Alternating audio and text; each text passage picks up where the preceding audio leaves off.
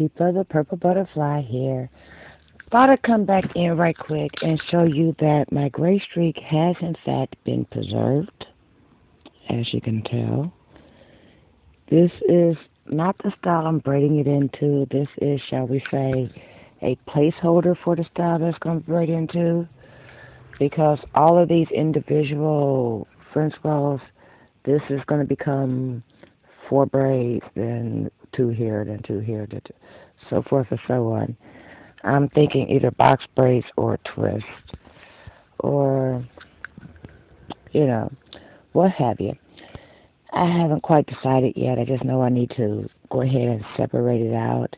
And as soon as I parted it, it's like, oh, now you can really see the gray streak that I was trying to show in the previous video. So I figured I'd let you see that while I'm, you know, thinking about it. And of course, I'm putting some butter on the ends. That way I can really seal in the ends while the moisturizer is already during the length of the hair. But you are now truly up to date. There she is. And when I'm done, if there's a way to dye the whole head of hair gray without destroying your hair, I would probably be the one to try to do it.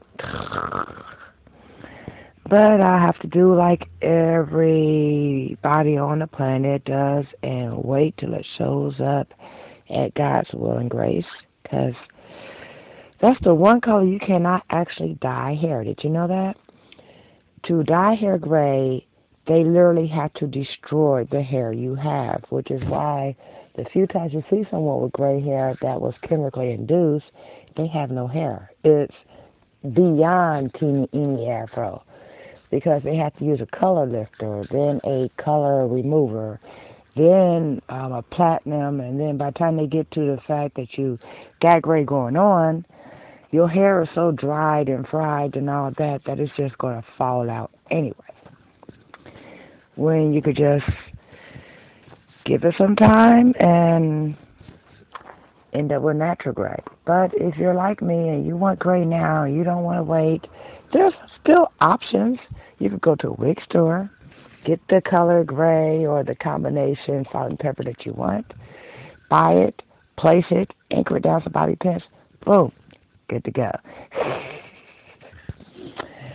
That's what I'm going to do when the I want to be gray intensity type feeling hits because I know me well enough to know that might happen.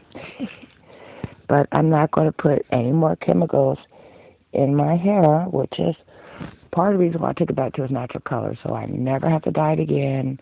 And everything that I'm using on it is 100% natural. And that includes the comb, as you can tell. That's made of wood. And every time I put oil on my hair and comb through my hair with this comb, it automatically oils the inside of the comb. So I don't even have to worry about taking a cloth and some oil and a brush and scrubbing the oil in. You know, my hair is doing that for me. I discovered that the other day. And look how easily a wood comb goes through the hair. It almost lays it down flat. So I'm going to need a comb that has bigger teeth than this. So that way when I detangle, I can still maintain my curl pattern. Because if I wanted straight hair, hello, they get chemicals for that. I happen to like the way God made my hair with a spiral and a spring and looks like a slinky some days and looks like a wave pool other days. You know, that versatility you can't buy at a store. That's what you're born with, that's what you encourage, and, you know, to go with straight hair would be to destroy my hair.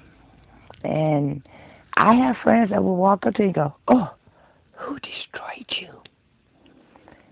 And I would deserve it because I've done that to them. Oh, who destroyed you? Why you let somebody do that to your hair? I guarantee you these folks itching for the opportunity to throw that back at me.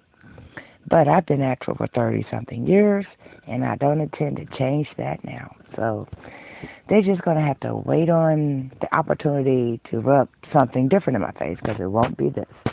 Y'all stay blessed, stay tuned, and don't forget to rate, comment, and subscribe. Bye now.